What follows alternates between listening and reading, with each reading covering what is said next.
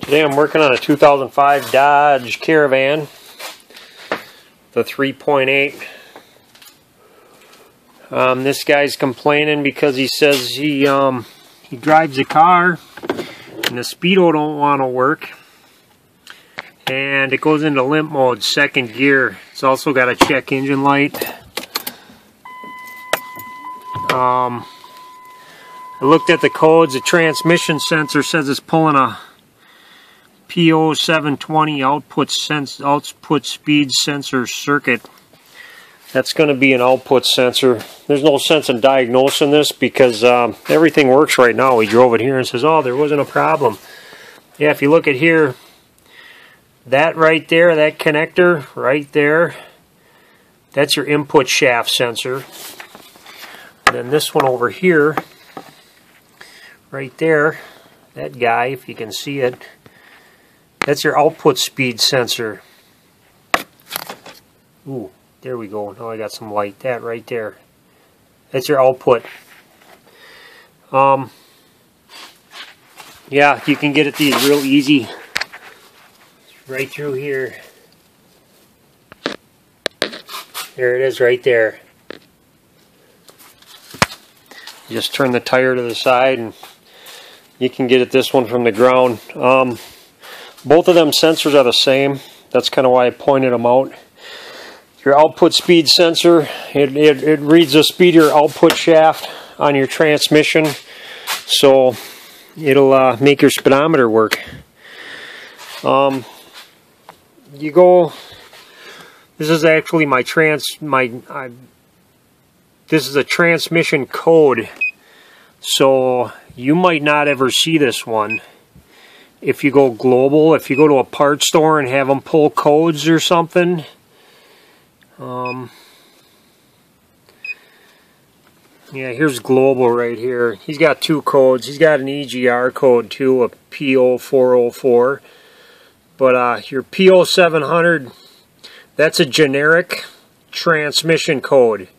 So if you got a P0700, that could mean a lot of things. The only way to find the real code is if you go into your transmission module and a generic OBD2 reader or your regular parts stores, they're not going to be able to find that code for you, the P0720. It'll just show up P0700, and that could mean just about anything. But if that's what you're getting and you got a, a if, if you have a speedometer problem, it's probably going to be that output sensor, and it's probably going to have a P0700, P0720 in it too. Okay, I guess I'll be needing a zip tie for this job. That one's kind of in my way. I'm just cutting that out.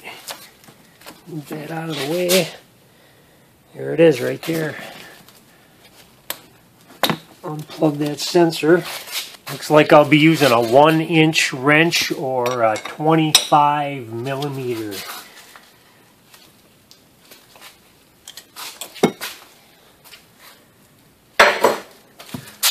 It is plastic, so it takes almost no torque to get this thing off and put it back in. So don't over tighten it. You just want to get it snug. It won't go anywhere. It's got an O-ring that seals it, so it don't need a whole lot.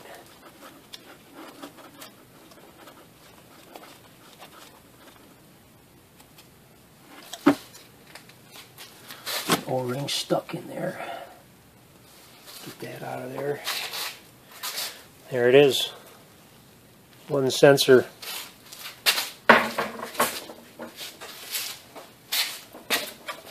There's your Dorman number.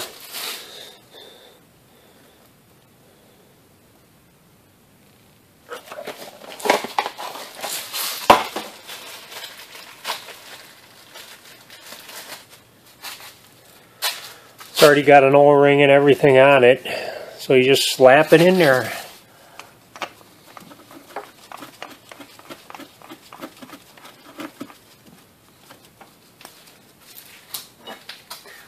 A $20 sensor too, it's not a whole lot of money. So it's a cheap and easy fix.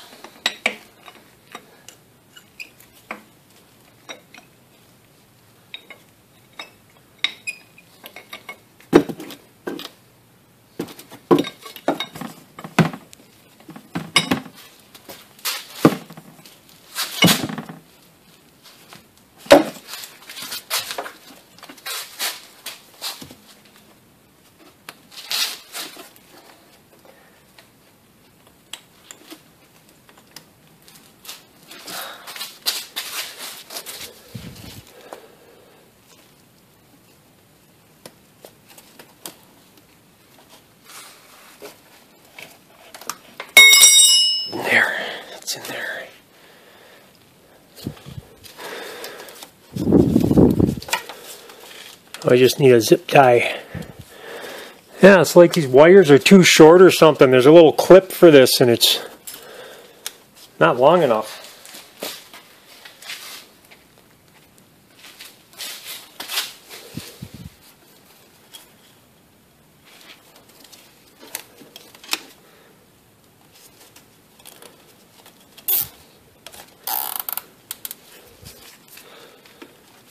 I'll use two for good measure.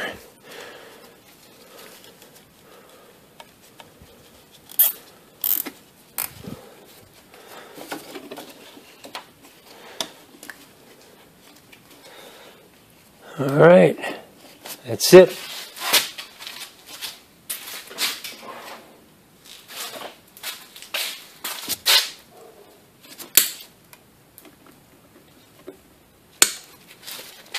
Just that easy. That job's done. Now I'm just going to give this wonderful old car the 50-50 guarantee. 50 feet or 50 seconds, whichever comes first.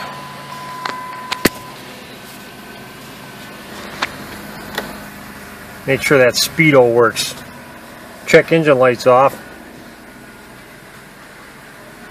Everything worked when it came in, so everything should be working when it leaves.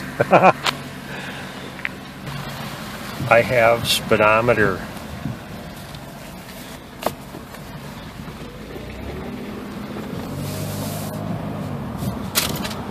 I have gears.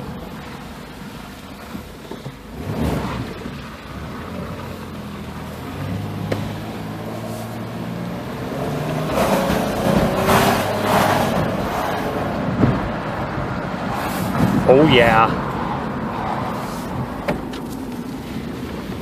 It's a fix. I'm done.